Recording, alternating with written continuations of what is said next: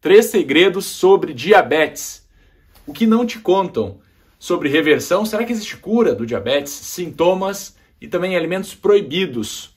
Vou abordar esses três temas aqui. E eu coloquei segredo, porque realmente é um segredo. A grande maioria das pessoas não sabe disso. Eu vejo isso na prática clínica. Quando eu aviso, quando eu revelo o segredo, digamos assim, não, é sério? Não, não pode ser.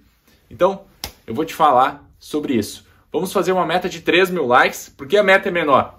Porque é mil likes para cada segredo. Então, já deixa o seu curtir, isso ajuda muito o vídeo, também me incentiva a colocar mais conteúdos aqui. E o primeiro segredo é o segredo da reversão. Quando se trata de reversão do diabetes, existe reversão ou não existe? Existe reversão do diabetes tipo 2. Se for diabetes tipo 1 ou diabetes LADA, não existe reversão.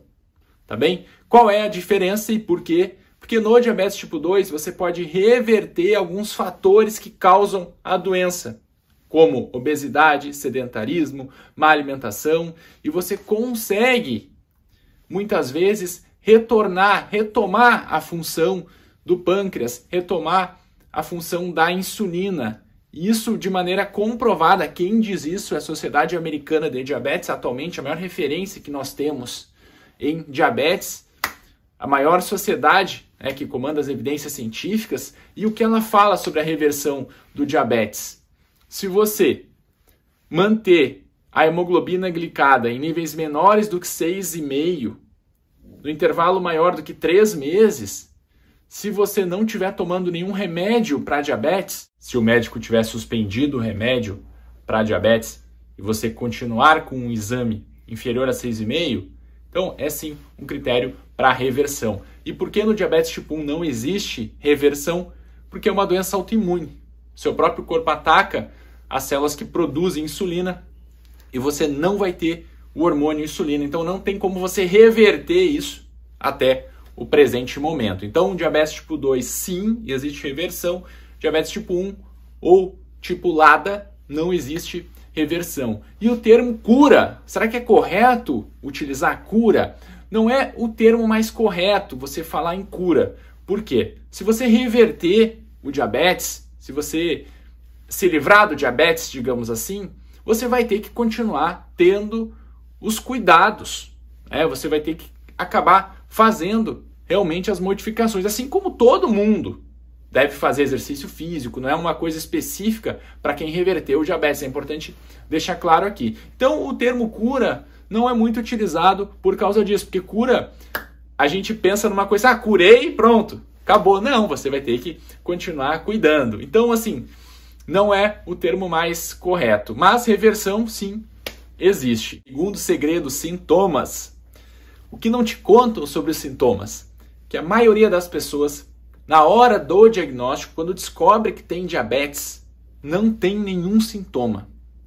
A maioria das vezes. Por isso que falam assim: ah, tantas pessoas, tantos milhões de pessoas têm diabetes e não sabem que tem. Porque você não vai sentir nada. Se você não fizer exames de rotina, você não vai descobrir o diabetes, porque uma alteração leve no açúcar no sangue não causa nenhum tipo de sintoma que você conhece como sendo sintomas de diabetes, muita sede, você vai muito do banheiro, infecções de repetição, fraqueza, emagrecimento. Isso não vai acontecer quando o açúcar no sangue está levemente aumentado.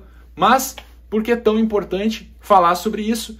Porque muitas vezes o paciente não adere ao tratamento, ele não aceita o tratamento. Por quê? Você está assistindo bem, você já tem uma alteração no nível de açúcar no sangue, e aí você começa a tomar um remédio para diabetes, por exemplo, começa a ter diarreia, começa a passar mal, muitas vezes os pacientes largam o tratamento. E por que é mais importante falar sobre isso? Porque mesmo que você não sinta nada, você já tem uma chance aumentada de ter um ataque cardíaco, de ter um derrame, por exemplo, uma AVC. Então é muito importante você ter isso em mente e não surpreender que tem diabetes e não sente nada, porque isso é muito frequente. E o terceiro segredo, alimentos proibidos. Que não te contam? Qual é o segredo aqui? Não existe nenhum alimento proibido para diabético. Ué, mas como assim? Várias pessoas ficam em choque. Ué, mas me falaram que isso era proibido. O que você já escutou que era proibido? Escreve nos comentários. Também coloca a cidade que você fala. Qual é a questão aqui? É que não é um alimento que é proibido. O que é proibido é o excesso de alguns alimentos. Existem alguns alimentos como açúcares simples, bolo, pão, massa, são alimentos que você vai ter que moderar. Você vai ter que ter um cuidado maior. Mas eles não são proibidos, assim como frutas. Algumas pessoas acham que diabético não pode comer fruta. Pode sim. A questão é que existem algumas frutas, como mamão, manga, você vai ter que ter uma moderação maior. Uva, banana, por exemplo, você vai ter que ter uma moderação maior do que maçã, morango, goiaba, abacate. Essas frutas não elevam tanto o açúcar no sangue. Então a questão aqui é que existem alimentos que você vai ter ter uma maior atenção, mas eles não são proibidos. Se você gostou do vídeo, não esqueça da nossa meta de 3 mil likes.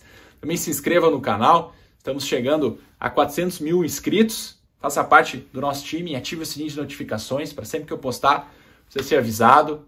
Agora eu vou deixar uma sugestão para você assistir. É um vídeo que eu falei sobre os seis melhores hábitos para diabéticos que te ajudam a controlar o açúcar no sangue. É esse vídeo aqui, ó. Não deixa de assistir. Um abraço!